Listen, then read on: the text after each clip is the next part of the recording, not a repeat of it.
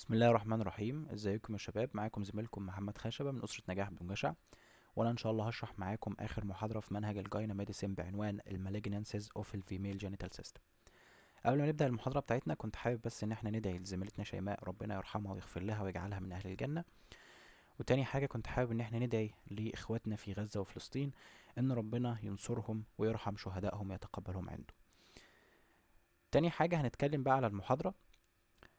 لما نيجي نتكلم على المحاضرة ال content بتاعنا ال content بتاعنا عبارة عن آه، بعض الأمراض ال- أو بعض ال malignant tumors اللي بتبقى موجودة في ال- الجهاز التناسلي للأنثى زي ال invasive cancer cervix زي ال endometrial carcinoma زي ال trophoblastic tumors زي ال ovarian malignancies زي أو ال ovarian malignancy زي ال cancer vagina أو بيتقال عليه ال vaginal cancer وزي ال cancer vulva طبعا ال vulva هي ال external genitalia أو الأعضاء الأعضاء التناسلية الخارجية يعني من الست. أول حاجة عشان نبدأ نتكلم على الأمراض دي لازم نبقى عندنا خلفية عن حاجة الأول وهي مراحل انتقال أو مراحل تطور ال cancer. ال cancer لما بيجي يبدأ بيبقى عبارة عن abnormal abnormal cell خلية غير طبيعية. الخلية دي بيبدأ يحصل لها abnormal growth. المفروض في الطبيعي إن الخلايا بتاعتنا بيكون ليها معدل نمو معين. ولو خلية زادت عن المعدل النمو ده نتيجة أي سبب من الأسباب مثلا إن هي تعرضت ل radiation مثلا تعرضت لإشعاع أو نتيجة مثلا chemicals مثلا يكون الشخص ده بي- بيشرب سجاير أو إلى آخره يعني أي سبب من الأسباب خلت إن يحصل للخلية دي abnormal growth تمام؟ بيبدأ على طول الجهاز المناعي إن هو يبدأ ي- يموت الخلية دي. الجهاز المناعي بيبدأ إن هو يموت الخلية دي. طب لو الخلية عدت من الجهاز المناعي ما قدرش إن هو يموتها بتبدأ الخلية إن هي تبدأ تعمل abnormal growth بتن بتنمو بصورة غير طبيعية. فتبدأ تكبر بتنمو بيجيلها الغذاء تكبر أكتر فاكتر فبت... وتبدأ تتضاعف كمان يعني هي بتكبر وتتضاعف. لما بتبدأ تتضاعف الخلية دي بتكون حاجة اسمها ال hyper hyperplasia. ولما بتكبر أكتر وأكتر بتكون حاجة اسمها ال dysplasia. ال dysplasia دي بتبقى عبارة عن مجموعة من الخلايا.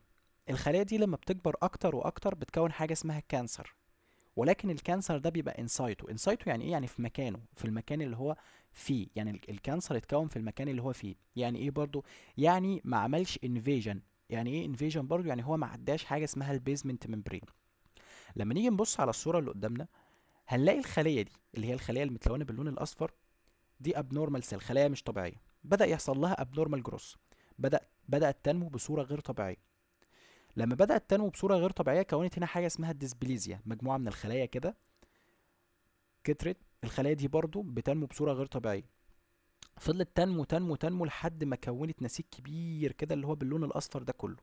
ولكن النسيج ده ما عداش ال basement membrane اللي هو ده. ده المفروض ال basement membrane. ما عداش ال basement membrane فبقول عليه carcinoma ولكن carcinoma in situ يعني هو موجود في مكانه لسه ما خرجش لسه ما عملش invasion طب لو هو خرج من ال basement membrane أو عدى ال basement membrane عمل invasion invasion ده يعني هو عنده القدرة إن هو ينتشر ويروح خلايا تانية. بيتقال عليه إيه؟ بيتقال عليه اللي هو ال cancer بقى العادي. يبقى ال cancer العادي هو بيبدأ عمل عمل invasion تمام؟ أدام عمل invasion يبقى يقدر يعمل metastasis metastasis ده يعني هو يقدر ينتقل من مكان لمكان. يعني ممكن مثلا لو حد عنده cancer في في ال lungs يقدر إن هو يتنقل للعظم. عن طريق الإيه؟ عن طريق ال invasion ده أو عن طريق ال metastasis ده. تمام؟ يبقى إحنا أول حاجة عندنا ال processes of ال metastasis cancer stage أول حاجة بتبقى خلية عادية. الخلية دي بيبدأ يحصل لها abnormal growth أو نمو غير طبيعي تبدأ تكون حاجة اسمها ال hyperplasia وبعد ال hyperplasia بتكون حاجة اسمها ال dysplasia. بعد ال dysplasia بتكون حاجة اسمها ال ال ال carcinoma in situ أو cancer في المكان بتاعها يعني ما عدتش ال basement membrane. لو عملت invasion وعدت ال basement membrane بيتقال عليها إيه؟ بيتقال عليها بقى اللي هو النوع العادي من ال cancer.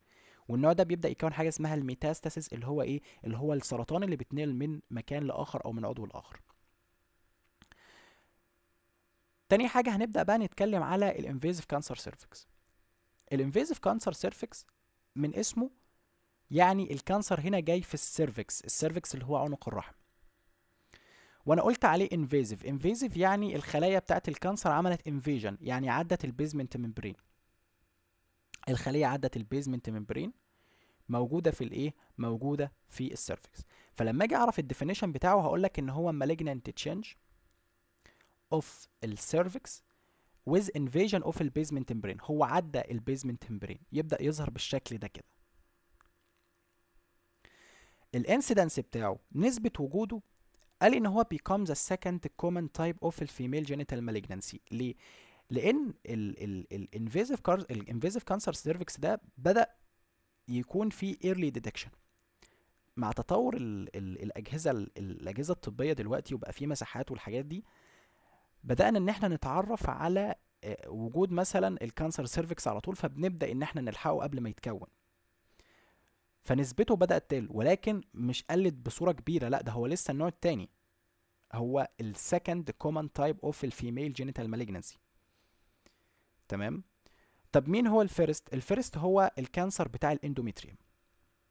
في cancer كده لسه هناخده دلوقتي هو بيجي في الرحم ده هو ال first common إنما ال second common هو ال invasive cancer cervix يبقى أنا بس عايز من ال slide دي إن إحنا نعرف إن ال invasive cancer cervix عايز تعريفه إن هو بيعمل invasion of ال basement membrane وعايز تاني حاجة إن هو ال second common type of ال female genital malignancy بس. بعد كده هنتكلم على ال risk factor بتاعه. أهم risk factor عندي أو أهم اتنين risk factor عندي ال age وال sexual activity ال age تبقى مهمة جدا إن أنت تبقى عارف إن هو بينتقل بين سن ال 40 ل 50 سنة. مهم جدا جدا جدا تبقى عارف السن ده. يبقى مهم عندي إن أنت تبقى عارف إن هو بينتشر من سن 40 ل 50 سنة. تاني حاجة في ال risk factor عندي أربع جمل بحرف ال S أول جملة اسمها إيه؟ اسمها sexually transmitted viral disease. يعني بعض الأمراض الفيروسية اللي بتتنقل عن طريق ال sexual intercourse بعض الأمراض الفيروسية اللي بتتنقل عن طريق ال sexual intercourse زي إيه؟ زي ال HPV ال HPV ده هو حاجة اسمها human papilloma virus ال human papilloma virus ده most common viral disease. ده أشهر common viral disease. برضو ده مهم. ال human papilloma virus ده تعرف إن هو ال most common viral disease ال human papilloma virus كده زي ما أنت شايف في الصورة هنا كده ده بتبقى عبارة عن عدوى فيروسية. العدوى الفيروسية دي بتتنقل عن طريق ال sexual intercourse بتكون زي papilloma كده أو زوايد بتبقى موجودة مثلا في أماكن مختلفة من الجلد أو أماكن مختلفة من الجسم. من الأماكن اللي هي بتصيبها مين؟ من الأماكن اللي هي بتصيبها اللي هو ال cervix فبالتالي بتؤدي إلى cancer cervix تاني حاجة ال HSV type 2 ال HSV type 2 ده اللي هو ال herpes simplex virus herpes simplex virus ال herpes ده بيبقى فيه two type عندي type واحد و type اتنين. type واحد ده بيصيب الجسم عادي إنما type 2 هو اللي بيجي في ال genitalia أو بيجي في الأعضاء التناسلية. زي ما موجود في الصورة اللي فوق هنا ال HS ال HSV type 2 بيبقى موجود في الأعضاء التناسلية سواء ال penis أو سواء ال vagina. بيظهر زي bubbles كده أو حاجات صغيرة بتبقى باينة على الإيه؟ الأعضاء التناسلية. يبقى ده الإيه؟ يبقى ده ال herpes type 2 تالت حاجة ال HIV ده اللي هو إيه؟ اللي هو الايدز ال HIV اسمه ال human immunodeficiency virus أو أو الفيروس اللي بيعمل أو بيسبب نقص المناعة أو بيتقال عليه إيه؟ بيتقال عليه الايدز الأمراض دي أمراض بتيجي نتيجة عدوى فيروسية العدوى الفيروسية دي بتيجي بسبب الإيه؟ بتيجي بسبب ال sexual intercourse ال HPV ال HPV اللي هو ال human papilloma virus ال HSV اللي هو ال herpes simplex virus type 2 قلت type 2 ليه؟ لأن type 1 ما بيجيش في في الأعضاء التناسلية type 2 هو اللي بيجي في الأعضاء التناسلية وال HIV ده اللي هو الإيه؟ ال HIV ده اللي هو الايدز تاني أهم عامل عندي اللي هو ال sexual activity ال sexual activity يعني زيادة زيادة ال sexual intercourse زيادة ال sexual intercourse بيسبب إيه؟ بيسبب أو بيكون risk factor كبير جدا لمين؟ بيكون risk factor كبير جدا لل cancer cervix ال sexual intercourse مثلا مع multiple partners يعني مثلا يكون دي العلاقات اللي هي ال illegal ال illegal العلاقات المحرمة. لما بيكون مثلا إن ال- الشخص بيعمل intercourse كتير مع كذا شخص يعني مش مع حد واحد يعني مش مش مش في حدود ال- الإطار الطبيعي اللي هو الجواز. تاني حاجة إن هو مثلا بيكون multipar يعني هو بيعمل مع شخص واحد آه مع ال partner بتاعه ولكن بيكون بصفة مبالغ فيها جدا. طبعا آه، آه، هل ده آه، بيقول إن ما ينفعش نعمل sexual intercourse لا خالص. ال sexual intercourse ليه فوائد كتير. ولكن ال sexual intercourse لو زاد أو بقى بصورة مبالغ فيها بقى بصورة مبالغ فيها بيؤدي إن هو ممكن يكون risk factor إن هو يسبب ال cancer cervix بعد كده عندي حاجة اسمها ال smegma ال smegma دي هو عبارة عن إيه؟ ال smegma دي هي عبارة عن مجموعة secretions ال secretions دي بتكون في ال uncircumcised male partner المفروض إن ال male في الطبيعي أول ما بيتولد بيبدأ يحصل له حاجة اسمها ختان. يعني الذكر مجرد ما بيتولد بيعملوا له عملية ختان. عملية الختان الفكرة كلها إن هم بيبدأوا يشيلوا الجزء بتاع الجلد اللي موجود على ال penis من قدام. بيوصل للشكل ده كده. طب لو الشخص ما عملش العملية دي لو ما عملش العملية دي ال penis بتاعه هيفضل بالصورة دي كده. بالصورة دي هيبدأ يتجمع مجموعة secretions هتبقى موجودة هنا. يعني جوه يعني بين الجلد وبين الايه بين ال penis نفسه. ال secretion دي لما هتروح لل female partner بتاعته هتبدأ دي بيبقى اسمها smegma وهتبقى risk factor إن هو يكون إيه إن هو يحصل له cancer cervix تالت حاجة أو رابع حاجة عندي هي ال smoking ال smoking ده اللي هو الإيه اللي هو التدخين طبعا. طب هتقول إيه علاقة ال smoking يعني واحد مثلا smoker بيشرب سجاير إيه علاقته إن هو مثلا يكون risk factor ل cancer cervix أو واحدة آسف؟ طبعا لأن ال- ال- الدخان بيمشي في الدم طبعا أو المواد بتاعت الدخان بتمشي آه، في الدم فبالتالي مثلا بتروح لل cancer فبتكون إيه؟ آه، بتروح لل cervix فبتكون cancer cervix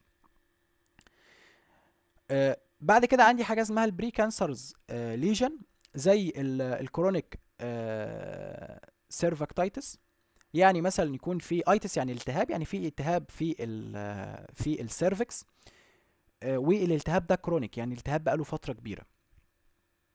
تاني حاجة ال CIN ال CIN ده هو عبارة عن إيه؟ هو عبارة عن حاجة اسمها ال cervical inter intra epithelial neoplasma يبقى ال cervical inter epithelial neoplasia neoplasma أو بيتقال عليه ال cervical إيه؟ cervical dysplasia يعني إيه؟ يعني اتكون يعني اتكون cancer في المكان ولكن cancer in situ يعني إيه؟ يعني ما عملش invasion يعني ال cancer ما عملش invasion فبالتالي هو risk factor إن هو يكون الإيه؟ هو risk factor إن هو يكون ال cancer cervix أو ال invasive cancer cervix يبقى تاني هنتكلم بسرعة على ال invasive cancer cervix قلنا إن ال definition بتاعه هو عبارة عن malignant changes في ال cervix بيحصل فيه invasion لل basement membrane وقلنا إن هو ال second common type لأن ال first common type هو مين؟ هو ال cancer بتاع ال endometrium تاني حاجة قلت ال risk factor قلت الايدج الايدج ده مهم جدا جدا جدا إن هو بيكون في سن من 40 ل 50 سنة. تاني حاجة أنا عندي 4 S الأربعة S دي أول حاجة اللي هي ال sexual transmitted viral disease اللي هي بعض الأمراض الفيروسية اللي بتتنقل عن طريق ال sexual intercourse زي مين؟ زي ال HPV اللي هو ال human papilloma virus أو ال HSV type 2 ال HSV type 2 مهم جدا type 2 ليه؟ لأن type 2 type 1 ما بيجيش في الأعضاء التناسلية. تالت حاجة اللي هو الايدز أو ال HIV تمام؟ بعد كده قلنا إن إحنا عندنا ال sexual activity زيادة ال sexual activity عن المعدل الطبيعي زي مثلا ال multiple partners multiple partners زي العلاقات ال illegal يكون مثلا الست دي بيكون عندها علاقات ال illegal وكده. آه، أو مثلا multipara يعني مع نفس الشخص آه ولكن بتعمل بصورة مبالغ فيها جدا جدا جدا. بعد كده قلنا ال smegma ال smegma دي آه، بعض ال secretions اللي بتكون في ال- في male اللي مش معمول له عملية الختان.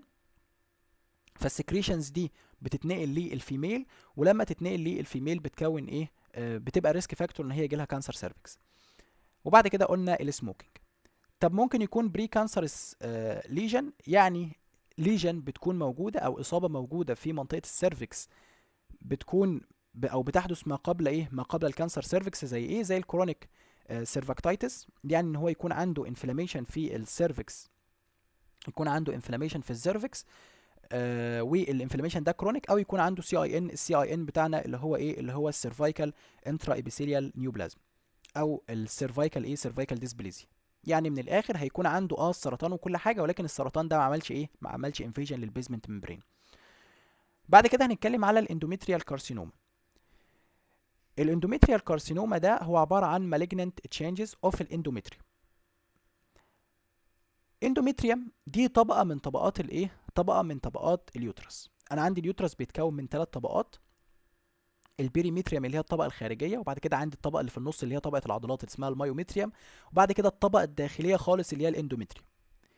ال cancer ده بيتكون في ال endometrium فبيتقال عليه إيه؟ بيتقال عليه endometrial carcinoma. ال incidence بتاعه ده هو ال most common gynecological cancer يعني ده أشهر cancer بيجي في الستات. أو بيجي في في ال gynecological يعني في في الجهاز التناسلي يعني. يبقى أشهر cancer بيجي في الجهاز التناسلي مين؟ هو ال endometrial carcinoma ودي مهمة جدا جدا جدا. تمام؟ لما أجي أشوف ال definition بتاعه هلاقي إن هو malignant change في ال endometrium أهم حاجة إن هو عمل invasion لل basement membrane وقلت إن ال incidence بتاعه إن هو ال most common gynecological cancer بعد كده هتكلم على ال risk factor ال risk factor عندي بيبقى موجود في السن اللي هو أكتر من 60 سنة. أكتر من 60 سنة يعني من بداية من أول 61 وأنت طالع كده تمام؟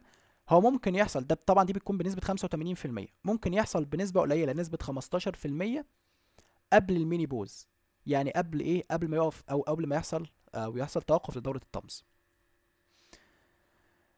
يبقى هو بيتقسم لنسبتين 85% ده بعد سن الستين.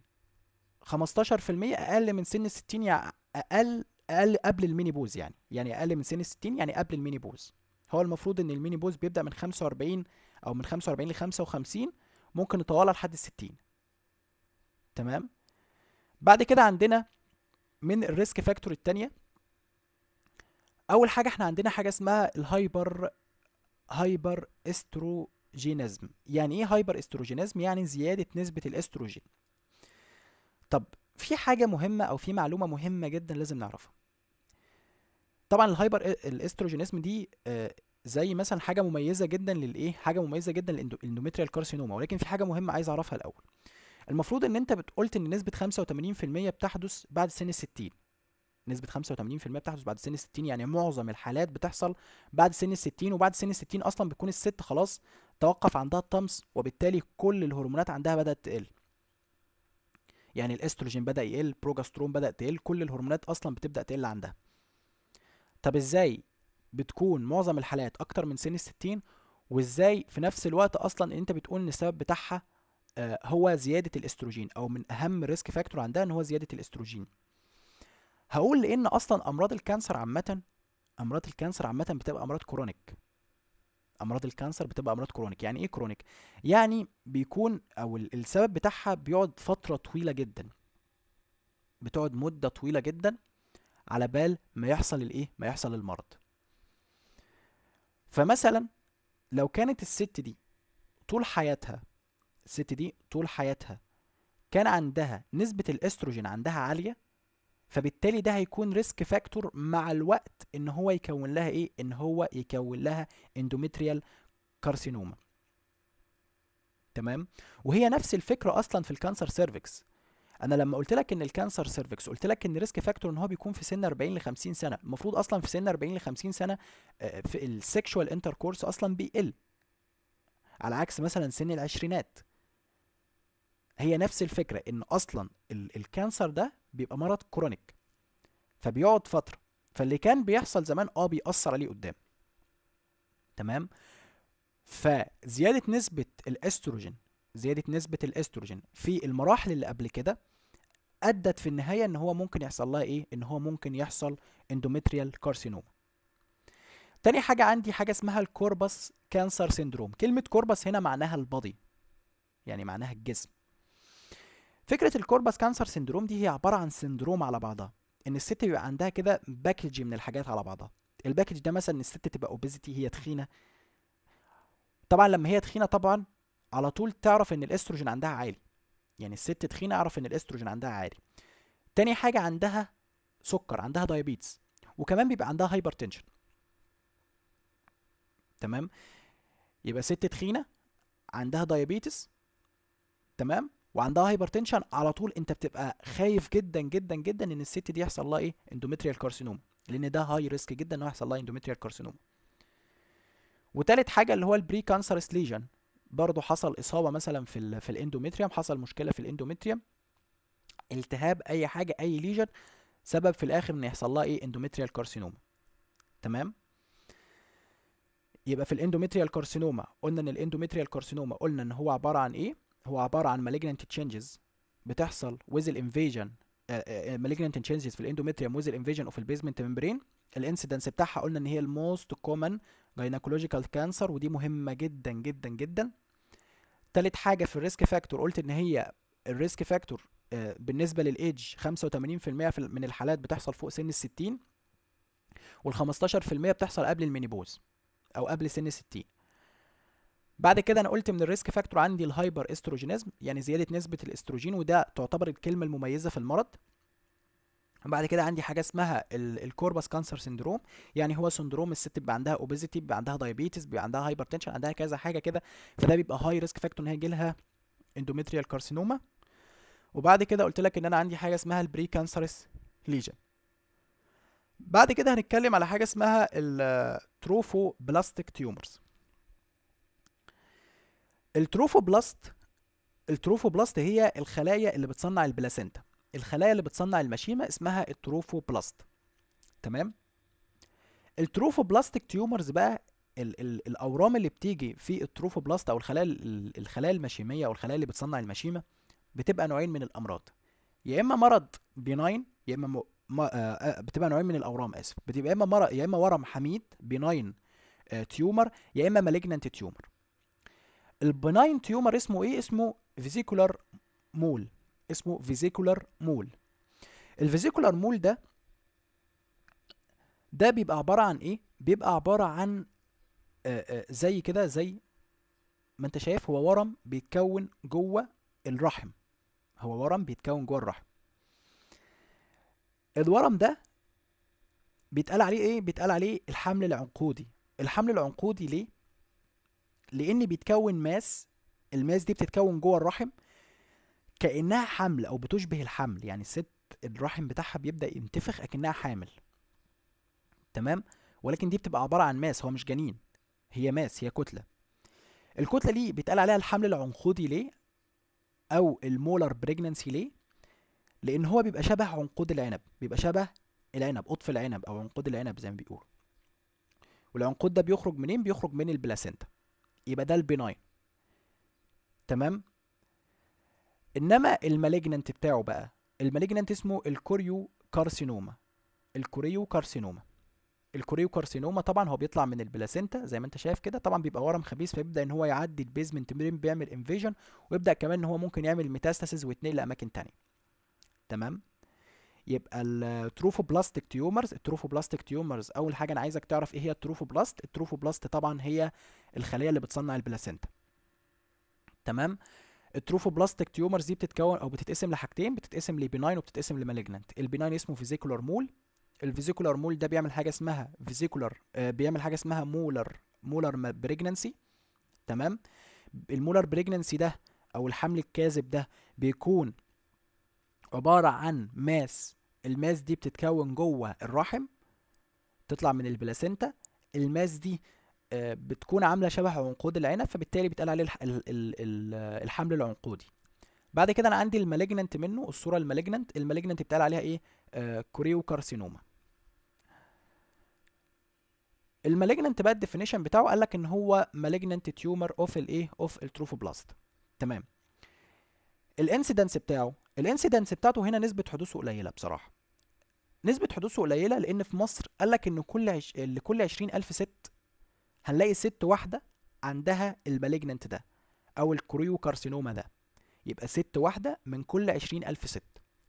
ولكن هو مشهور جدا أو بيبقى بصورة أكبر بيبقى موجود بصورة أكبر فين؟ في ال Far East. ال East ده اللي هو الغرب. آه آسف ال East ده اللي هو الشرق. تمام؟ آه ال Far East ده اللي هم الناس بتوع إندونيسيا آه وماليزيا والمناطق دي. فهو بيبقى موجود بصورة أكبر هناك. تمام؟ يبقى في مصر ال incidence بتاعته قليلة بتبقى كل 20000 ست بيبقى فيه ست عندها ال choriocarcinoma ده فنسبة حدوثه قليلة. ولكن بيبقى مشهور أكتر بيبقى more common فين؟ في ال Far East. ال etiology بتاعته قال إن هو tumor of ال trophoblast طبعا يعني هو آآ آآ ورم بيحدث في ال trophoblast الخلايا اللي بتصنع ال placenta. بيكون موجود أو بيحدث بنسبة 50% following ال vesicular mole. يعني لو ست مثلا حصل لها ال trophoblastic اللي هو ال benign اللي هو الحميد اللي هو ال vesicular mole اللي هو الحمل العنقودي ده طبعا بعد ما بيحصل حمل عنقودي بتعمل الست عملية. يخش الدكتور بيقص ال vesicular mole ده أو بيقص الورم ده وبيبدأ إن هو ينظف مكانه. 50% من الحالات طبعا بعد ما بيتنظف مكانها 50% من الحالات بتتحول لصورة malignant أو بتتحول ل choriocarcinoma 30% following ال abortion. 30% بتبقى بعد الإجهاض. الست طبعا بعد الإجهاض المفروض برضو إن الدكتور بيخش بينظف الجزء الباقي أو بيديها مثلا زي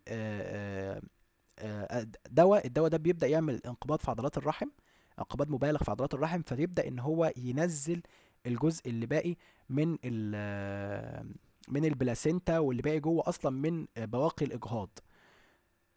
تمام؟ فاللي باقي ده ممكن يحصل يكون في باقي 30% منه بيسبب إيه؟ بيسبب الإيه؟ ال choriocarcinoma 20% بيبقى following الايه following ال normal deliveries يعني الست خلاص ولدت ولدت طبيعي وخلاص الجنين نزل وكل حاجة.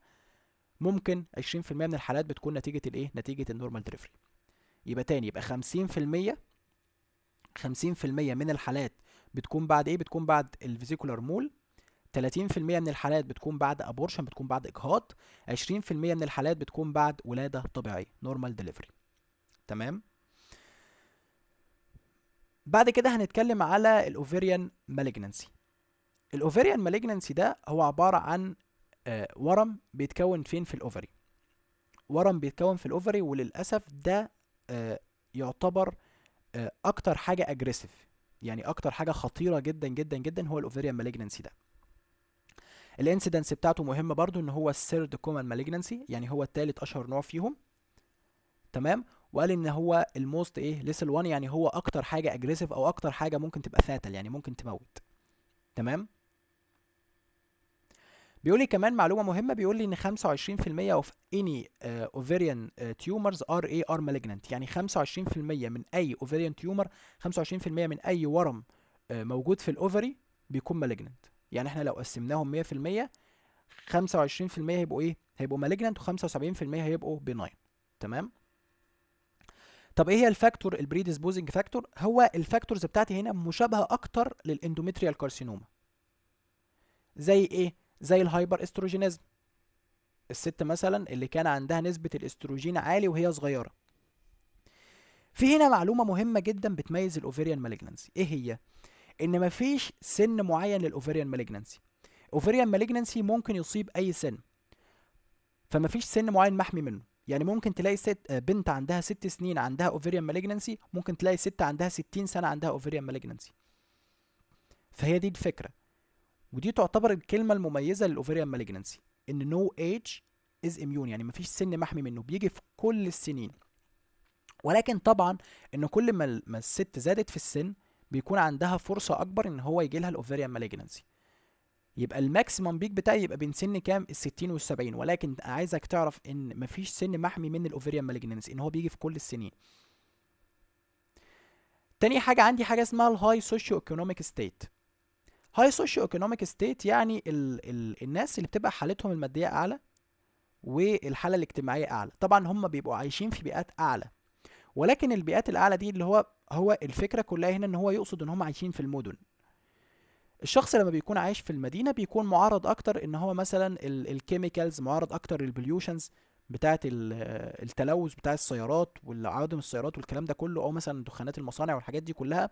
فهنا بيبقى معرض الست بتبقى معرضة أكتر إن يحصل لها ovarian malignancy وفي عامل مهم جدا إن هو positive family history positive family history يعني مرض وراثي. يعني مثلا لو ست مثلا عندها ال ovarian malignancy ده بيبقى فيه نسبة إن ولادها يجي لهم ال ovarian malignancy ده risk factor وكمان ال exposure to ال radiation برضو التعرض للاشعاعات الاشعاعات الضارة. إن مثلا البنت مثلا كل شوية مثلا بتعمل وليكن أشعة مثلا على رجلها. ما هو طبعا الاشعاع ده ممكن بتتعرض ال ovary بتاعتها بتتعرض للاشعاع هي مثلا رايحة تعمل أشعة مثلا على أي حاجة في جسمها فهي بتتعرض للإشعاع. تمام؟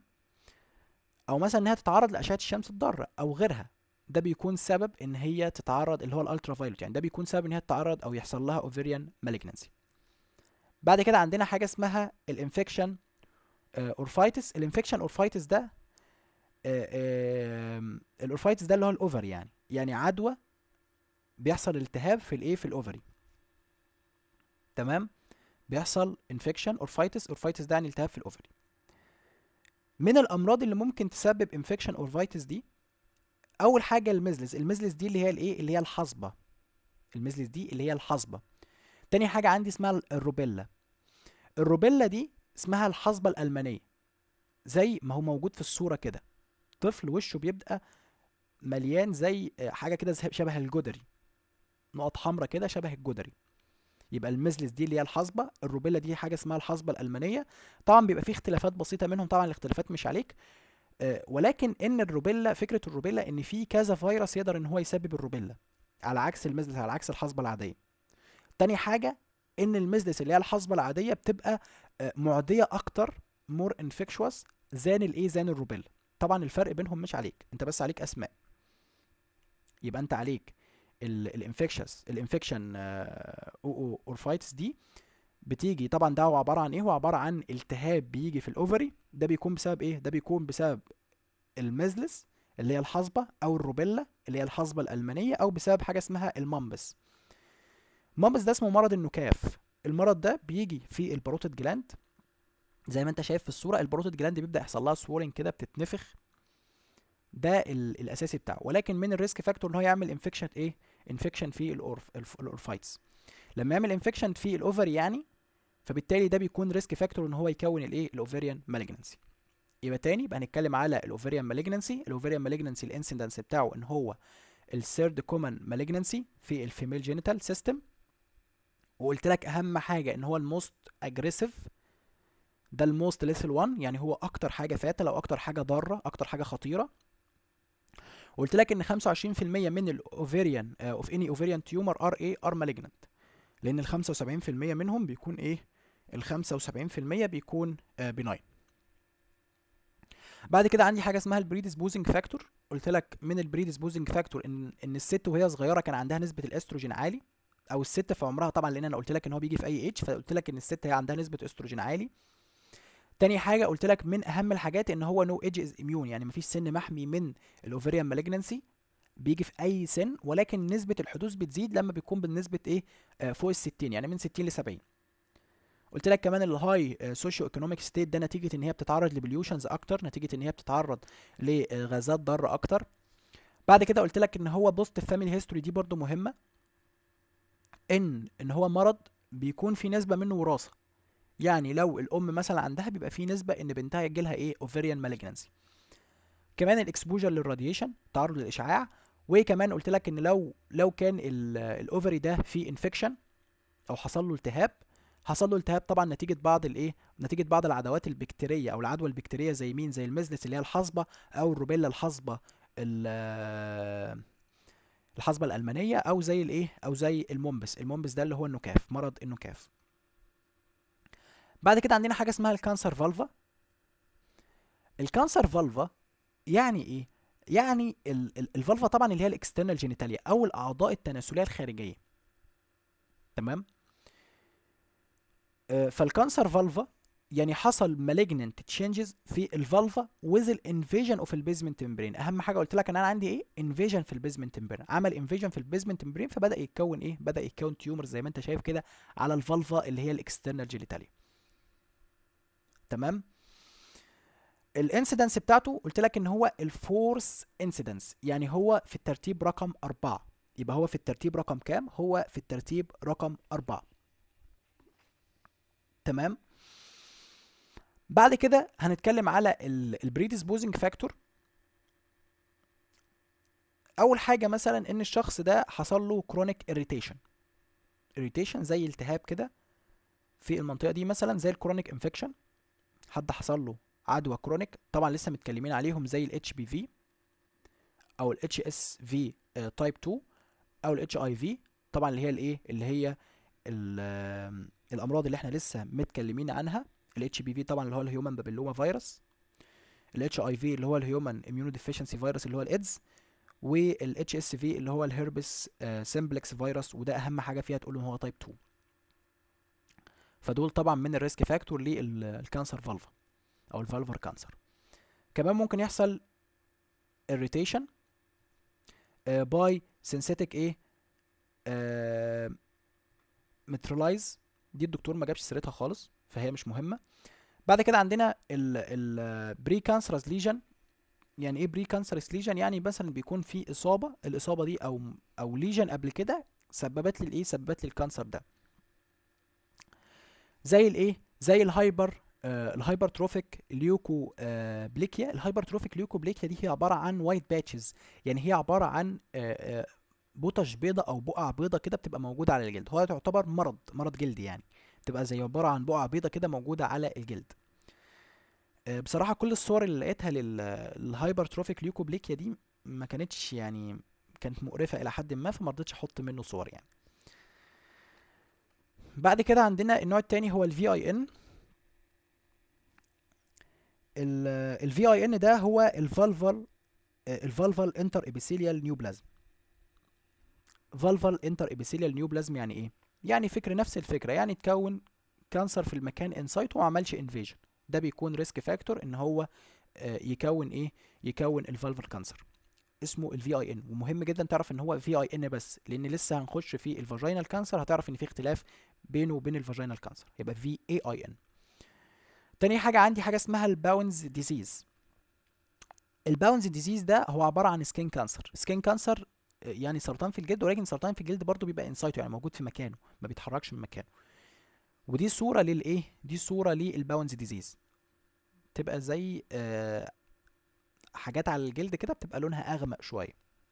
بعد كده عندنا ال Paget disease ال Paget disease طبعا إحنا عارفين إن هو chronic bone disorders ده مرض خدناه في ال pathology. ده عبارة عن chronic bone disorders يعني مشكلة بتبقى في العظم. والمشكلة دي قلت لك إن هو ممكن يحصل metastasis فتتنقل للإيه؟ تتنقل لل لل vulva ولما تتنقل لل vulva هتعمل إيه؟ هتعمل vulval cancer تمام؟ يبقى إحنا قلنا ال cancer of ال vulva.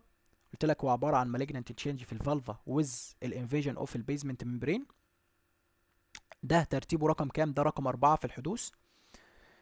ال ال risk factor بتاعته زي ال risk factor اللي قبل كده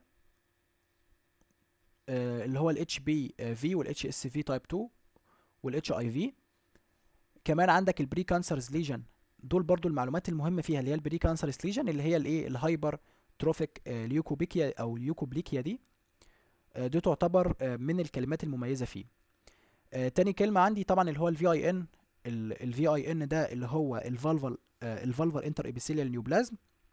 وعندك ال Bowen's disease وعندك ال Paget disease. طبعا دول لازم تعرفهم لأن هم الكلمات المميزة للمرض ده.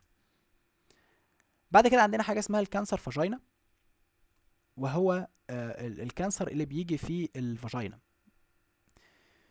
ال definition بتاعته هو عبارة عن malignant changes في ال vagina بيحصل برضو invasion لل basement membrane لو لاحظت عندي إن كل التعريفات يحصل invasion لل basement membrane كل التعريفات بيحصل فيها إيه؟ بيحصل فيها invasion لل basement membrane ال incidence هو رقم خمسة.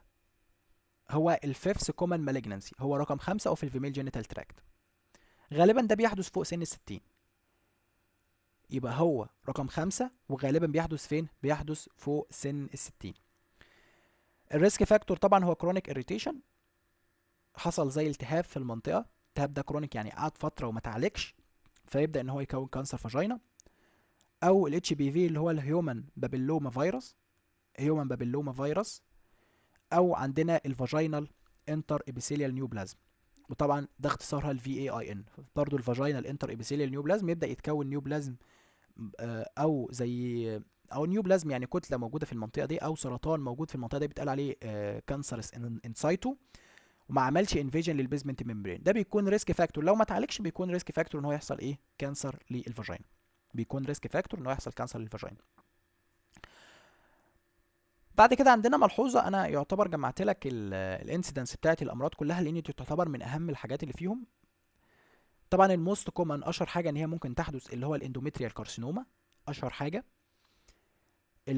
تاني حاجة ممكن تحدث هو ال invasive cancer cervix رقم ثلاثة هو ال ovarian malignancy رقم أربعة هو ال cancer vulva رقم خمسة هو ال vaginal cancer وبهنا نبقى خلصنا المحاضرة بتاعتنا.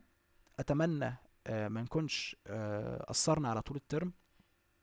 لو حد عنده آه، مشكلة أو عنده سؤال أو عنده شكوى أو أي حاجة في منهج ال gyna medicine عامة ممكن يتفضل يسأل يعني سواء في ال link اللي محطوط في ال description أو لو بعت على account نجاح ذات نفسه. ربنا يوفقكم. السلام عليكم ورحمة الله وبركاته.